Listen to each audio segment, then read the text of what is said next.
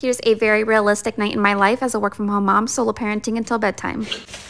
Recently, I've been having a lot more solo parenting nights than usual. push that, it's gonna move. I love getting to have a lot of one on one time with my toddler, but I feel like I'd never let myself relax. The last few hours before my toddler goes to bed are usually the craziest, so it's pretty hard doing it by yourself.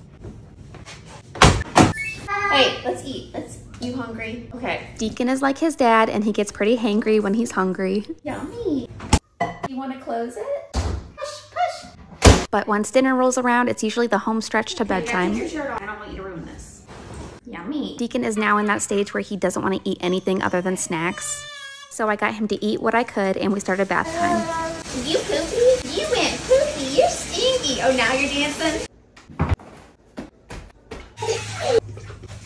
you got the stinky feet. Say all done. And we made it through another solo parenting bedtime. Love you, baby.